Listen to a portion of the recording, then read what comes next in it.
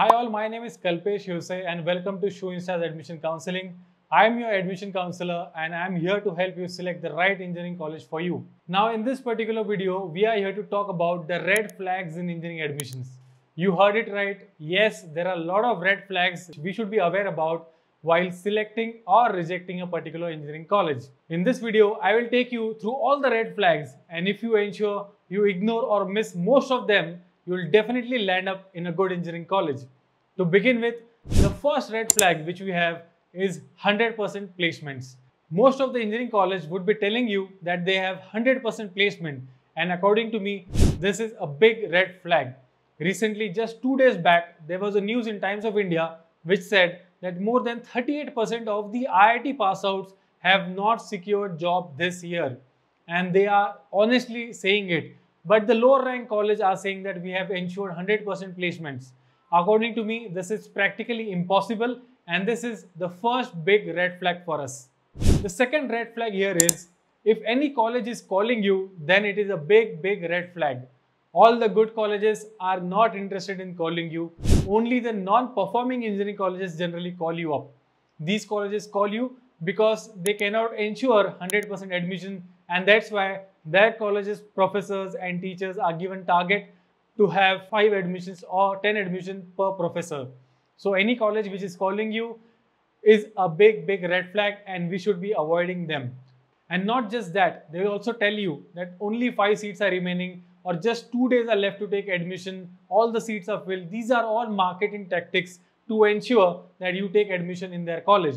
But as far as i am concerned this is a big big red flag for us now the next important red flag is having no clear cancellation policy. I understand that for various reasons you might be compelled to take admission elsewhere even before the MSc admission process begins. That is absolutely okay. I can understand your concerns. But you should ensure that the cancellation policies are okay so that you can participate in cap round as well as non-cap round. If they don't allow you or if the cancellation policy is not good enough, then that is a big, big red flag they are trying to hold you so that you don't move out of that college and take a better college.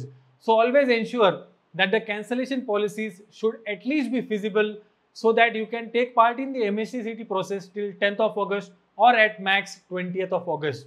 If the cancellation policies are relaxed till 20th August, then you are free to take admission anywhere because most of the CET admission process would end by 20th of August. The next important red flag here is colleges having huge fees. Now there are many colleges which have fees in the range of 3 lakhs to 5 lakh per year.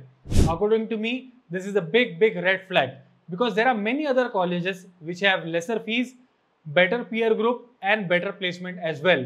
And most of these colleges are under MHT CET because none of the college in MHT CET has fees more than 2 lakh. I think the only exception to this would be DJ Sanghvi which has a fees of 2 lakh 10,000.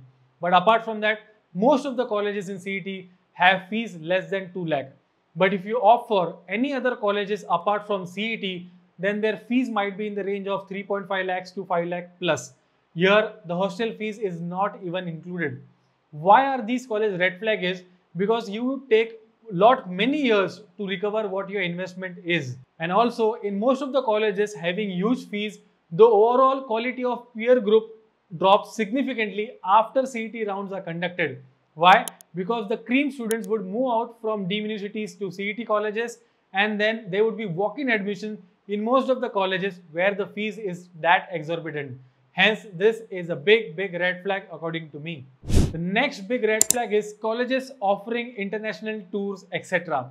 Now, this is a big marketing strategy. They know that students would love to have international tour organized in their college but we have to ensure here that for us, what matters is the quality of the college, teaching, placement and peer group.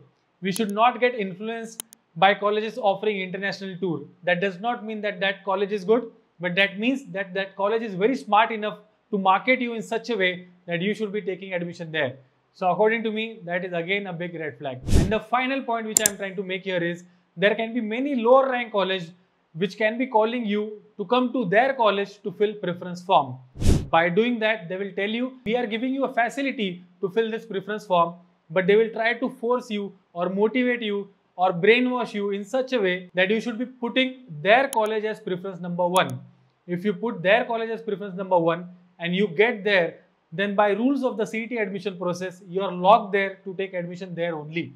So you will not be eligible to participate in cap round 2 and 3. Definitely you can participate in non-cap rounds, but many people are not aware about the advantages of non-cap round or they are not even aware that such a round exists. So if any college is calling you to come to their premise and fill preference form, the best thing that you should do is say no to them and fill the form yourself.